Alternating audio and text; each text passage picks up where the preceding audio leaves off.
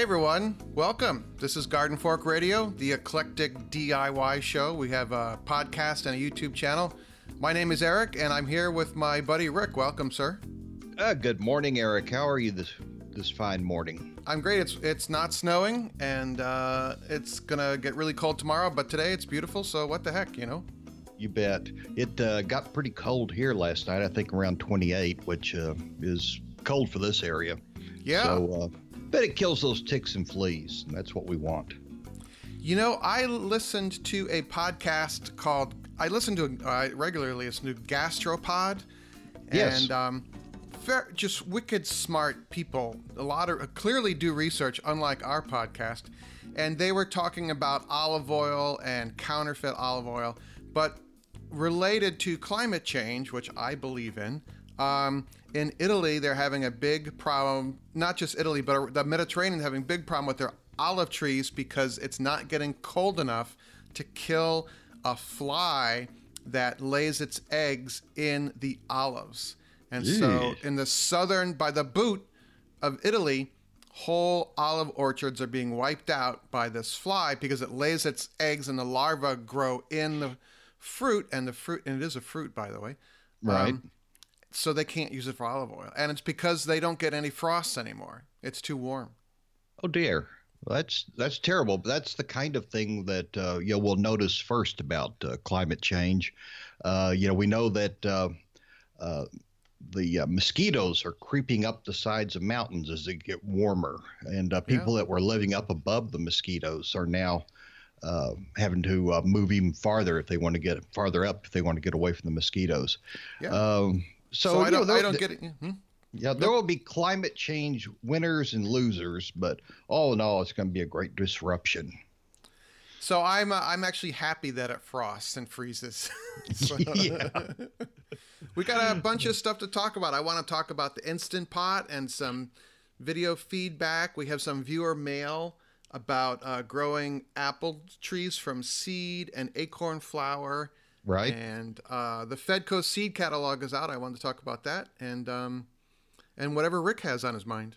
Okay, well, I got a couple of things. I, I wanted to toss in about the pears and the apples uh, growing from seed. And Well, if we get a little time about the uh, near field communication chip, which I'm kind of excited about.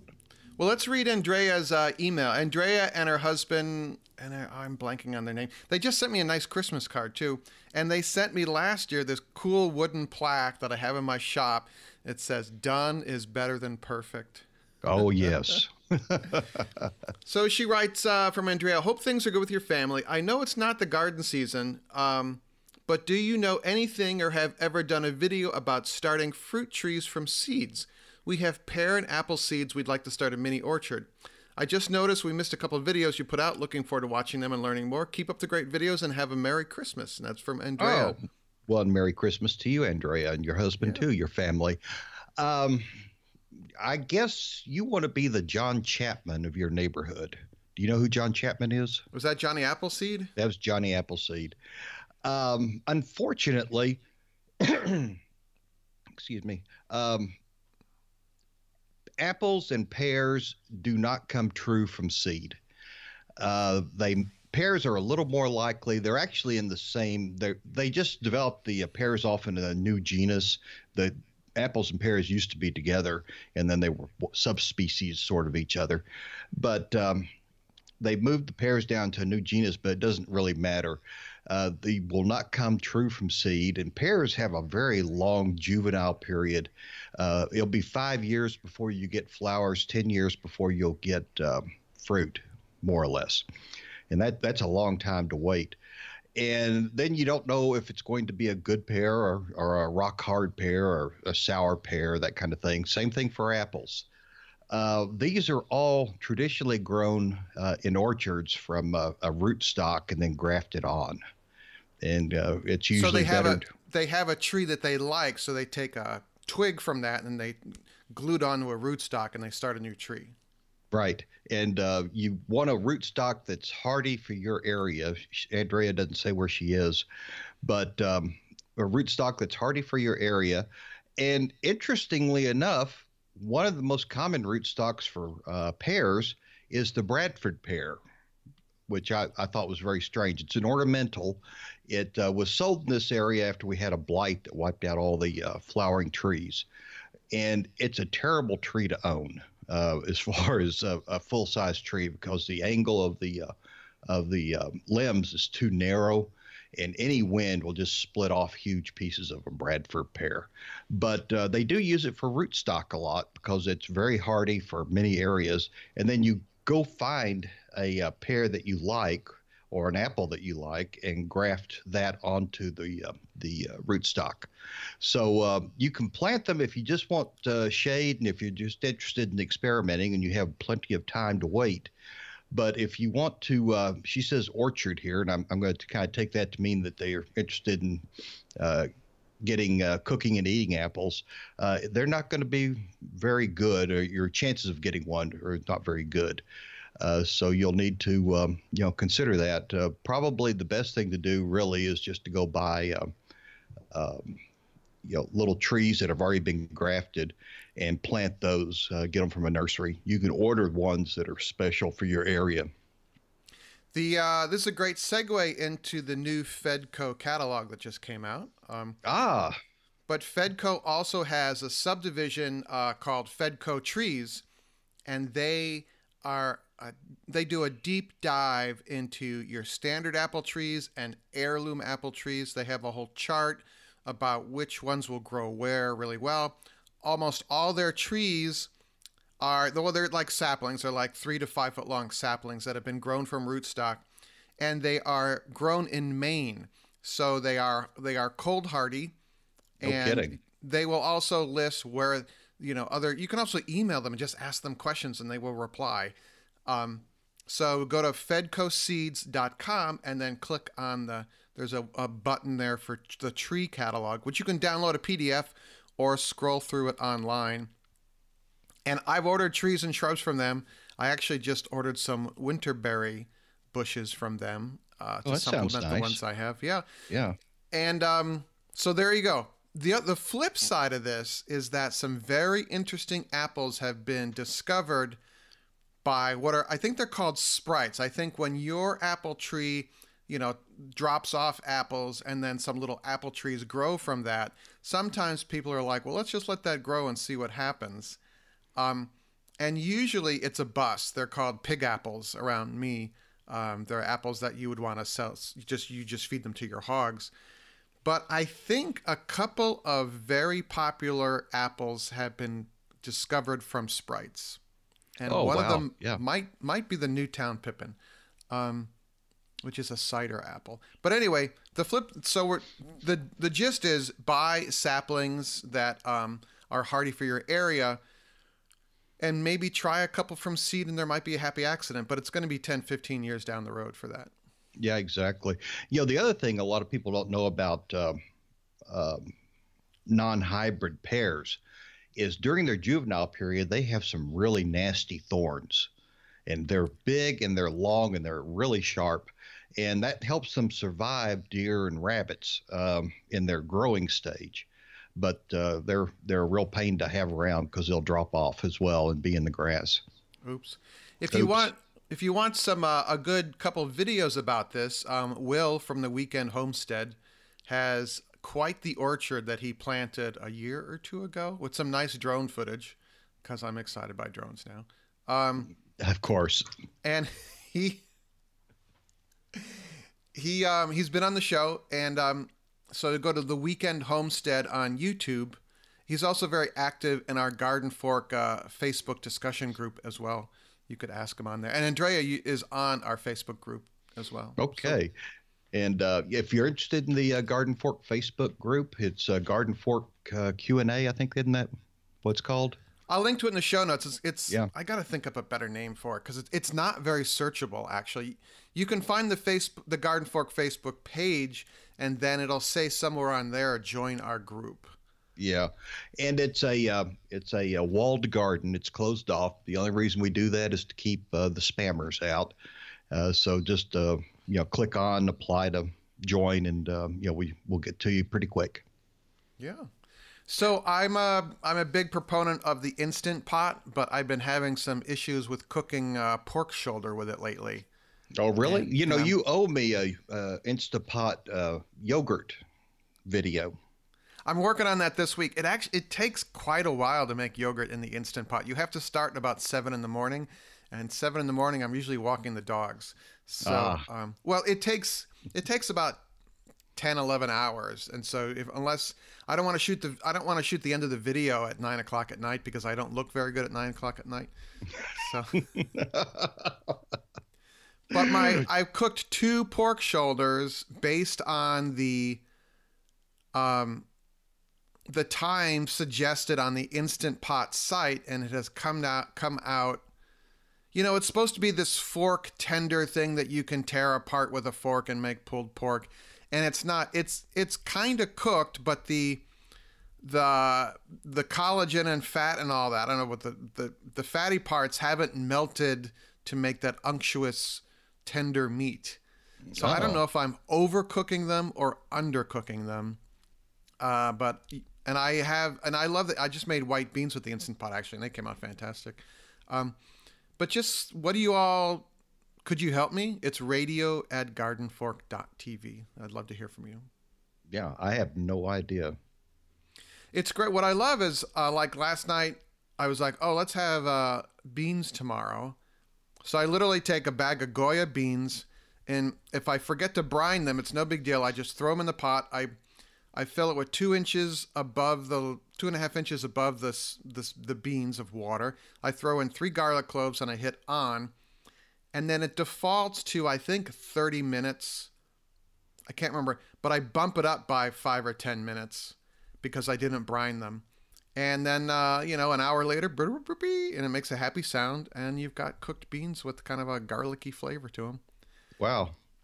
And you know, from I, I don't the- have one yet. I uh, maybe Oh. maybe Santa will be good to me this year. All right, I'll talk to Gail.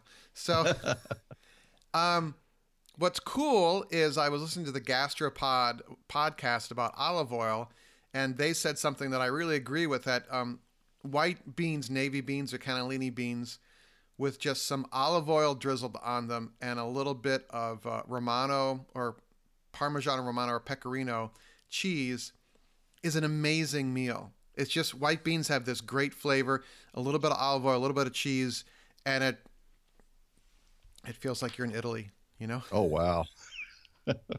I wonder if it'd work with uh, lima beans. That's from my part of the country. Yeah, I love lima beans. I love baked Yeah. lima beans with a with a, like a pork product in there. Yeah, yeah, nice and creamy, smooth.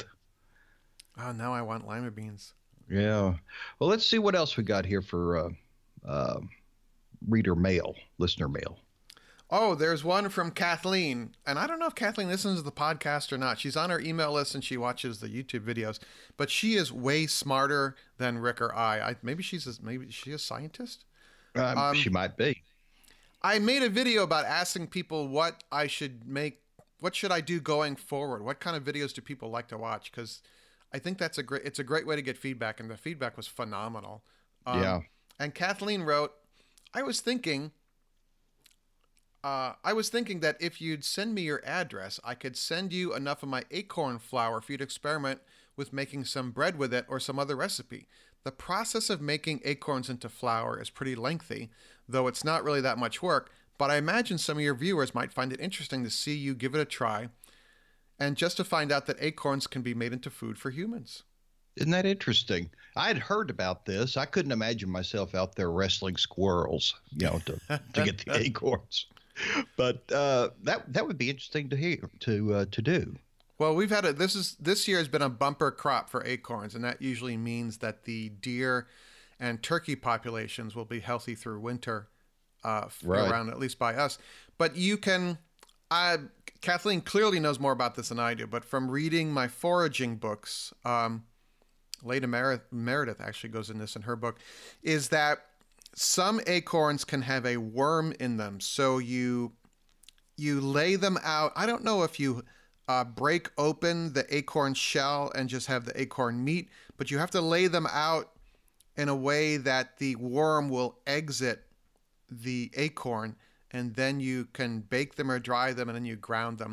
And you have to soak them in some water because they can be, uh, is the word astringent?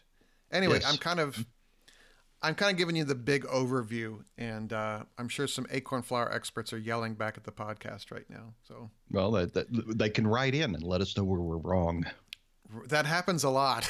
yeah, but people, it's really amazing how many people have um, uh, responded when you put out the call for uh, you know what to do about your hoop house that was kind of collapsing. Uh, that's probably more uh, listener mail or, or TV watcher YouTube mail than we've had in forever. And that, you know, we really appreciated all the suggestions. And uh, then you did your uh, sitting on the floor video. Yeah, and, me in the uh, labs. Yeah, you in the labs, and and the ball stuck under the stove, and ball stuck under the the uh, dishwasher, dishwasher, and. I would just like to. I'm I'm kind of bored with making straight up how to videos, and I've been mm, doing it. I can understand that. Yeah. Uh, the camera operator pointed out that I've been doing this for 10 years, which I didn't realize. I didn't either.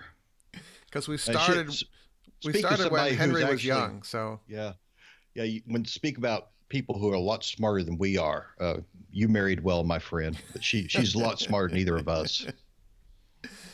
Yeah, and the hard part is she's so busy with work that it, it's um, she can't run the camera nearly as often as I would like. So, but I like I was given a I was gifted a drone that I like to have more. I just would like it to make it a little more cinematic because that actually is my background. Uh, right. I used, I used to work in TV and film and so, but I still want to keep the Eric Ericness to it. So I'm just going to make what I like, and that's really kind of the gist of a lot of the response was follow your heart. Um, and uh, I don't know if Noreen from Noreen's Kitchen listens to the podcast, but um, she kind of summed it up really well. And she says, you know, just, you know, we, we like what you are doing. So. Well, they also said they like you, which yeah. I think is wonderful. Um, you know, you got a lot of love from those, and that's wonderful. Yay. Yay. You know, um, Steve wrote in and he says, uh, Can I suggest something? I've been thinking about this for some time. Perhaps invite your listeners to upload a two to three minute video of their hacks fixes and rebuilds and incorporate it into your show. I think that's a pretty good idea. And uh, on the uh, Facebook side, anybody can upload a video there if you're a member of the uh, discussion group. I put one up just the other day um, about uh, I added a double wall to my uh, uh, garden greenhouse, my little mini greenhouse. Yeah. so it'll stay warmer and hold heat a little bit better. I wondered if I had overdone it and it wouldn't be appropriate for this area. You might have to be farther north to really get good use out of that. But uh, it was interesting to do, and it was kind of fun. And uh, I've I've already had uh, two people watch it. Um, Sorry, Rick. I'll bump it up. I'll bump it up on the list. So, uh, but you know, it, it was easy to do, and it was a lot of fun and um, I'm not. I have to learn to aim the camera at my face um, and and talk to it but uh, it was first one I've done in a very long time, and um, I just wanted to uh, do it. You know, it's it's the hard part is trying to talk to the camera, do the work, troubleshoot, and and manage the camera all at the same time. You know, that's that's the really hard part about some of these projects. Yeah, it's um there's a lot of craft involved. I like how Steve said here. He goes, "I have a couple of ideas I'd like to submit." My own camera operator has no idea yet. well, we'll do that because we could. I could create a Dropbox, and then people could. We could make a YouTube video. You know, people could upload. You know, they could send it to me by Dropbox, and I could I could edit them all into one video and put it on YouTube and on Facebook, and that would be fun. Yeah, it really would. And uh, you know, uh, a lot of the people that responded to your um, request for ideas uh, had some great ones about uh, you know they'd like to see recipes and uh, you know cooking, more cooking, that kind of thing, and also crafts. Um, I'm not a particularly crafty person, but uh, you know there are a lot of people that are. Get out your glue gun.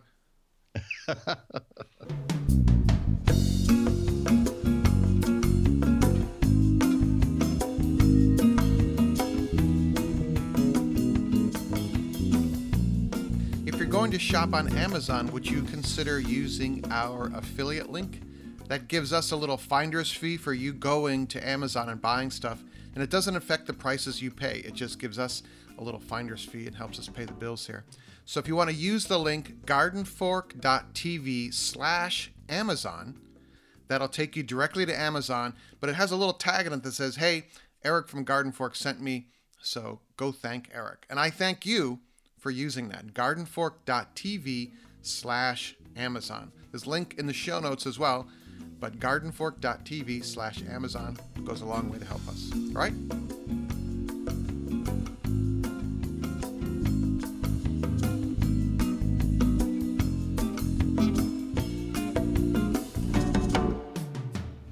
Went to the town holiday fair upstate, and um, my neighbor uh, was running one of the uh, tables of. On, she says, "Eric," she goes, "The glue gun with the dog food is amazing," and I'm like, uh, "Context, context, context," you know. I'm like, "What is she talking about?" Because I'm dumb as a rock. And she said, "I watched what your mousetrap hack video." And she goes, and it's brilliant because uh, actually our dogs were born in her garage. Um, she is oh. a hobby Labrador breeder, but she has this big mouse problem. So I took my idea was to take it wasn't mine. Someone gave me the idea is put small dry dog food and hot glued onto the little bait tang of your mouse trap, and um, it's it works a lot better than peanut butter, and so it, it does actually it works pretty good. Oh, interesting. Yeah, I, uh, I I missed that part somewhere. That's okay. Yeah. um, have you seen one of the several videos online about why you should water your Christmas tree in your living room? I know why you should, but uh, uh, go the ahead. dry one goes up real quick. oh, oh yeah. I had a, a uh, friend who was a uh, fire investigator, and he says, you know, Christmas tree fires are about the only thing we can't call arson. so you let it get dry, too dry, and you want to, everything to go up, poof. Uh, it's about the only thing you can get away with, they say. Yeah, put your kid in charge of watering the tree every day. You know. Yeah, yeah, not um, your dog. but there's uh, there's a video on Lifehacker I saw. Uh, it's actually the uh, uh, the federal government put out a pretty compelling video showing a dry Christmas tree and a well-watered Christmas tree, and they, there's a small electrical fire with the lights, and uh, the dry Christmas tree went up like a like a Christmas tree, you know.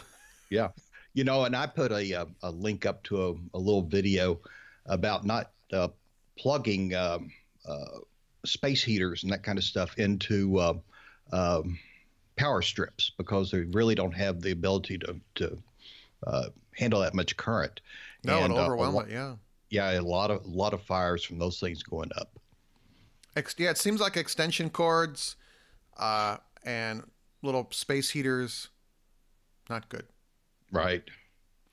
So uh, I've been uh, doing a deep dive on the 99% Invisible podcast and their website. Um, Isn't that a great thing?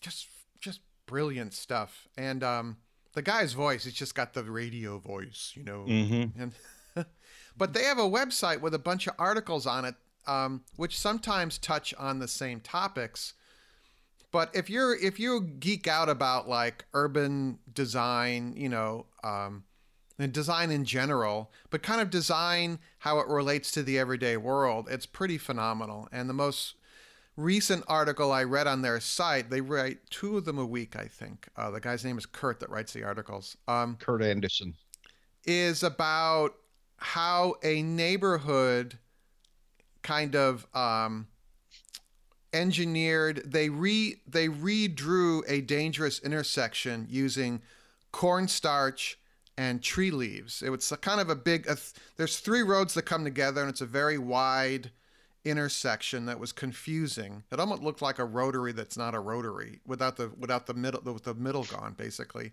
Right. And they used cornstarch to redraw the traffic lines, the sides of the road. You know, because the sides of the roads are usually uh, lined with white. And they put two white bars across. They didn't put up stop signs, but they put a white bar across the road. And people usually stop at that because they see a white bar. And then to cover up the asphalt that they wanted to um, keep people from driving on, they put down leaves. How you know, interesting. Like leaves off yeah. the tree. And it worked so well that the city took it the right way and is going to redesign that intersection. But it was kind of. Uh, you know, I don't think you should go out and be redrawing highways, but um, that was pretty. It was pretty neat. yeah, yeah. It, it sometimes it's real interesting what uh, a few determined people that have good ideas can uh, get through. Well, I um, paint the hydrant. This we call it the stripe, the hydrant rectangle around the fire hydrant on our block. Right. Because the city, because of budget cuts, they just don't send somebody out to do that. They used to do it. They don't do it anymore. And I, so I went out and I asked my neighbor buddy to help me, and he's like, "Well, I'll come. I'll come watch. I'm not going to have the roller in my hand, so we don't get arrested." And I'm like, you know, everyone thinks when I do this, they think I work for the city, uh. and they go, they almost everyone goes, "Oh, thank you for doing that." But they repaved our road, you know, and so that my stripes disappeared. And as soon as that happened, there are some less than nice people that block the hydrant. They hide it with their giant truck or something usually overnight ah, because they, they right. it's hard to park trucks. And I'm like, you're endangering people's lives by blocking a fire hydrant, which I find just unconscionable, you know. Of course. So, but I paint this yellow stripe, and you go to the big store and you buy Krylon orange or yellow striping paint, and it's an oil-based paint that's made to go on asphalt. You wait for the street sweeper to come through on your alternate side parking day, and then you I, I do the rectangle according to code. It has to be 15 feet on either side of the hydrant. And then I put up milk crates with uh, yellow tape to keep people from driving on the. And it dries in a couple hours, and I've done my. Um, Your civic of, duty. Yeah. yeah. But it's a See, pass. Is that a, it's called considered a passive behavior change? We're trying to change behavior without without yelling at them. We're just kind of like, here are these lines. Don't park. Yeah, here. yeah, and, and without bothering the police about it um, you know that that really works out. Well, I'm proud of you, Eric. Yeah, that's my. Uh, so it's it's 99 percent. It's I think it's called 99pi.com, and uh, the podcast is great. I don't know. I'm just kind of doing a deep yeah. dive on that when I'm in the car. Well, it's it's you know it's just about all it's 99 percent invisible, and the reason it's invisible is it they're showing you all the thought and the work and the uh, things you take for granted every time you see something, uh, uh, some sort of a building or a foundation or um, you know all kinds of things, uh, bridges, uh, you know just all the things that go behind it and into the uh, the making of it. Sometimes it's really small things, and sometimes it's you know big projects. But I find it fascinating. He's done a really good job. There's a related uh, site called Web Urbanist, which has some pretty wacky stuff on it sometimes. and the most recent post I saw in there was um, a couple that have built a nuclear fallout bunker out of school buses that they buried in the ground and covered with concrete. That's a little wacky. Yeah. Uh, yeah, we started to uh, move once uh, and retire up to uh, Charlottesville, Virginia. And we looked at a house that had a fallout bunker that the guy had made himself and um, actually uh, was using dynamite. He'd blasted holes down into the uh, through the uh, the uh, dirt to uh, get himself a well, and then had carried all that the debris out in, in a bucket, you know, just pail by pail by pail. And um, I, I thought that was a little too much for me, so we we passed on that house. You'd probably just have to worry about that flooding, you know? yeah, yeah. Um, it was uh, actually right next to a um, a uh, old school that had been converted to a house that uh, Thomas Jefferson built for his um, everybody on the uh, his properties to go to school at uh, when they were uh, little kids. So it's a kind of interesting part of the country, but it was just a, a little too horsey and a little too uh, too much for me. And and frankly, I'm glad I didn't take on all that work. Yeah. Now you're in the neighborhood where everyone looks at you going, "What's with that guy, Rick?" Oh yeah, they. I, have been doing my usual uh, leaf gathering. My my neighbors dutifully uh, bag all their leaves, and uh, I go by and pick up their bags and I lay them out, run the, a, a mulching lawnmower over them, and I pile them up into a big bin. I've got a wire bin now full of uh, neighborhood leaves, and I'm creating leaf mulch and uh, you know throw a couple of handfuls of fertilizer in there and keep it watered, turn it every now and then, and I'll have uh, wonderful uh, uh, mulch put down this uh, this spring. I asked in our um, weekly email, which goes out most weeks, um, about I have a lot of oak leaves and whether just mulching them into the lawn was okay or does that acidify the soil. And a couple couple people wrote back and said you want you don't want 100% oak leaves going into your lawn there. Um, mm. Either you want to mix or you shouldn't have just just oak leaves in there. Or you could you could counteract it by liming, you know, putting lime down. So right. You know, um, yeah, my neighborhood has such a variety of trees. Most of them kind of ornamental and stuff. I don't have to think about that. Um, although I do um, um, uh, top our beds in the spring with um, uh, pine uh, needles. Yeah, pine needles. Yeah. So you know they and they're lightweight and they hold together because they got little barbs, and so they don't wash away real easily. And so that's uh, you know uh, something that I uh, I watch my neighbors and they they're very good. They'll segregate their pine needles into a different sack, probably because they're they're raking in a different area, different part of the yard. and I'll, I always watch for pine needles. It's like there's that guy, there's that guy, that neighbor Rick. well, I've, I've, got people trained now. Some people will drop their uh, uh, bags of leaves off at the house, just leave them on the curb.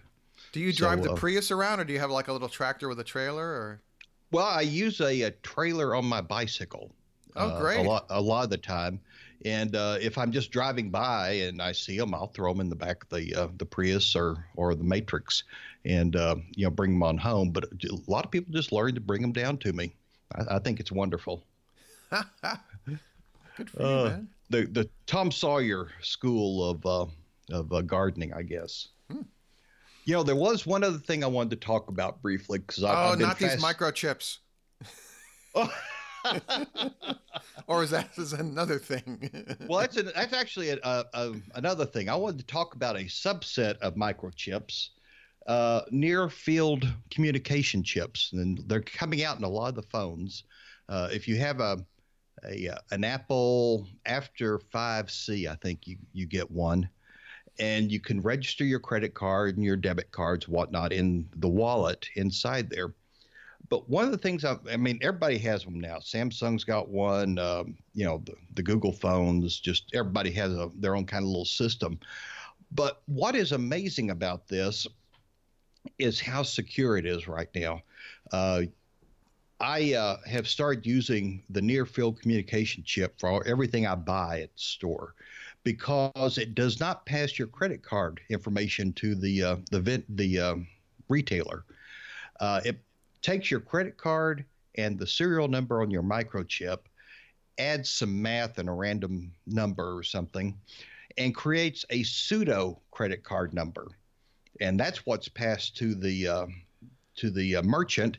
It wow. also passes a one-time uh, use code that is the that verifies it.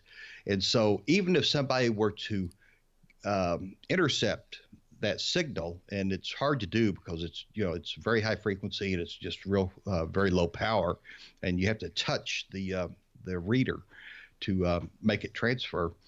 Uh, it just it's a one-time code and it uses a, a, pseudo credit card number, and how it works in the background is all kind of uh, mysterious to me.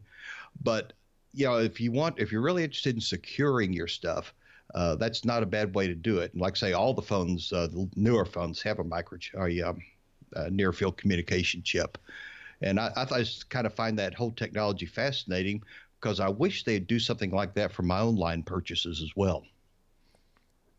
Oh yeah, because yeah. I, you know, I did have my identity stolen, and um, there have been many break-ins to the credit card information of the large retailers. Right. And so this using this the retailer does not have your credit card information. Right.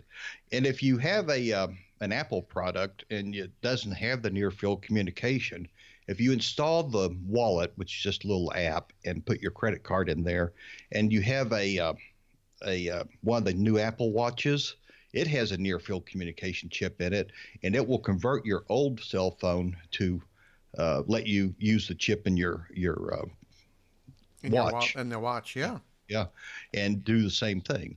And it, it just seems like that's the way to go because uh, the one place I've noticed they don't have uh, near field communication chips, which you would think it'd be a no brainer, gas pumps. Yeah, I, yeah, because Oh, yeah? that's the pla- that's the place where you see the card skimmers a lot when you read the news and you kind of keep up with that. Um, people stealing your uh, uh, credit card identity by putting a skimmer on a gas pump. You know, so when you pull in to get gas, uh, always look to make sure all the uh, slots where you put your card in look the same. And I even give the one I'm going to use a, a little tug to see if it's going to come off because they're just stuck up there with two sided tape.